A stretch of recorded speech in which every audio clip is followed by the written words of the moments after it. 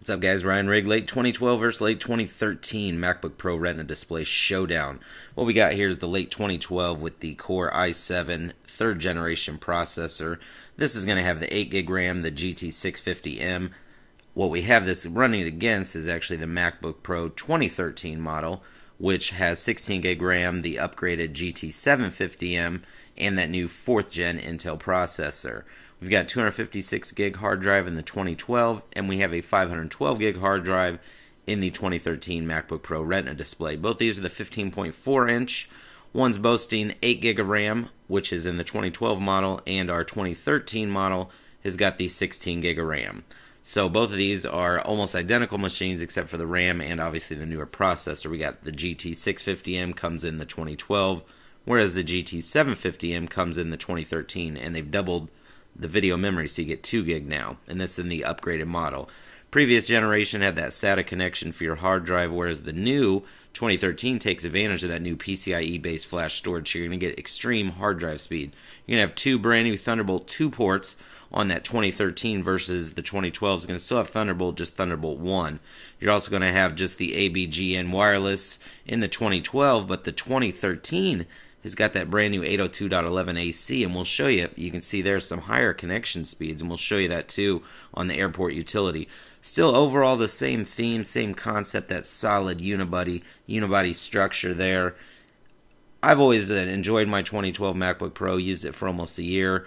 Uh, been using the 2013 for a while now too.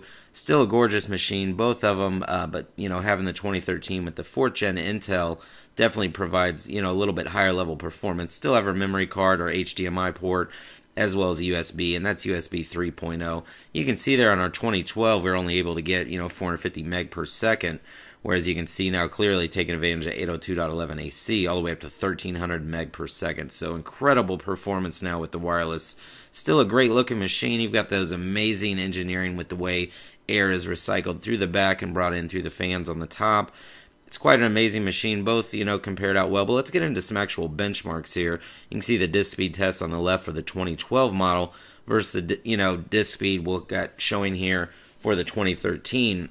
That takes advantage of that PCI E-based flash storage. As you can see there, the performance with that is going to be actually a lot higher than is your 2012 model because that was that old SATA-based hard drive. So definitely the two side by side you can see which one stacks up which one's going to provide performance and that helps out with things like editing and final cut pro which is what we're doing uh, we do a lot of editing you know the next test we ran was cinebench uh, using the opengl we were able to get about 30.58 frames per second on the macbook pro 2012 and that's the 15.4 inch and then we ran also that same opengl test but on the 2013 and we are actually able to get 42.34 that actually has that GT750M and 2 gig video, so that's going to provide you a higher performance with your video and GPU rendering.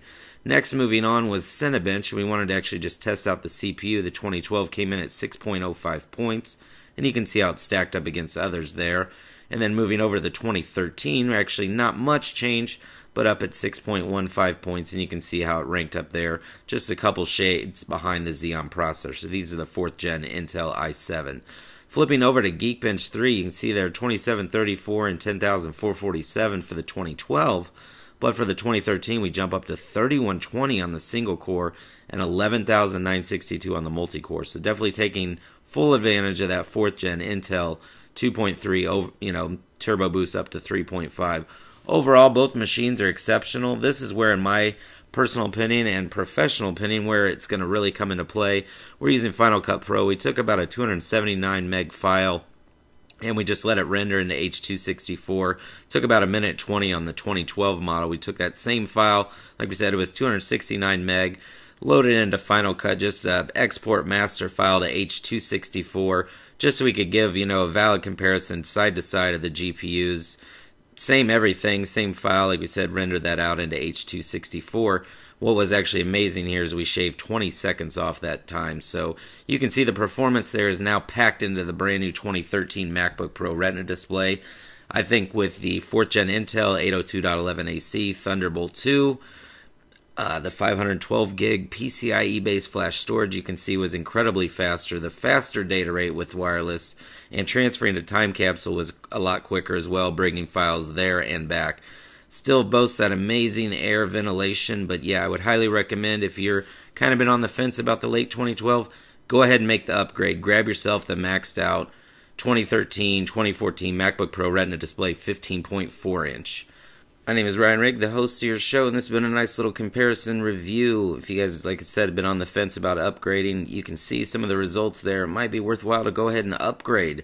Maybe put your old one on eBay or sell it to a friend or family member, but nonetheless, the performance with the new 4th gen Intel, the higher performance in the GPU, because we have that 750M with 2 gig video versus the 1 gig video GT650M, so what are your guys' thoughts? If we could, please give us a thumbs up. As always, Ryan Rigg, the host of your show, Fast Electronic and Loud, because we bring it to you fast, electronic, and of course, loud.